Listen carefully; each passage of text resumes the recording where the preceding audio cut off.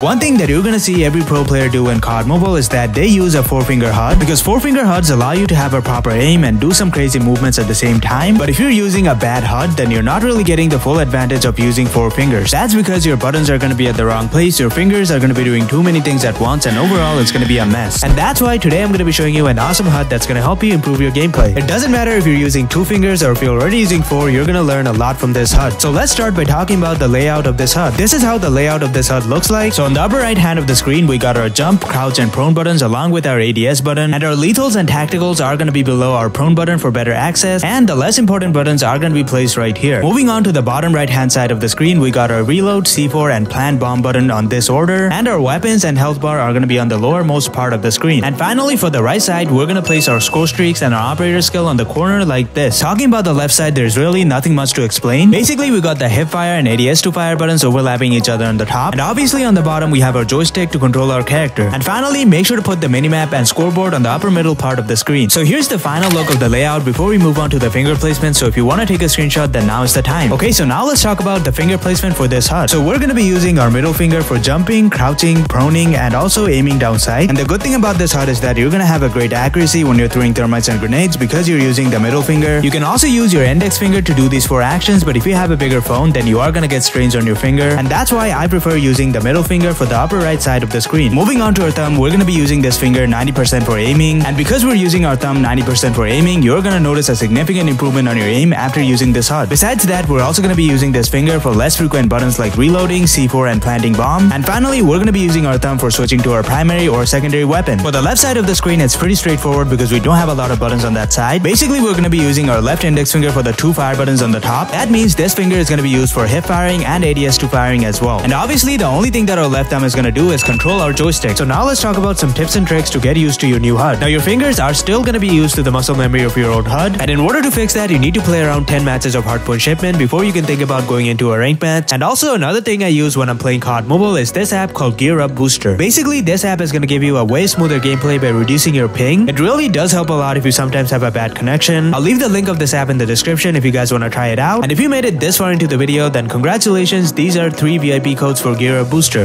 Again the link of this app is going to be in the description for you to try it out. And if you want to learn about the best settings in COD Mobile, then make sure to check out this video. I talked about some brand new settings that's going to help you get better in COD Mobile, so I highly recommend checking out that video. But yeah, I hope you guys enjoyed this video and I'll see you guys later. Peace out.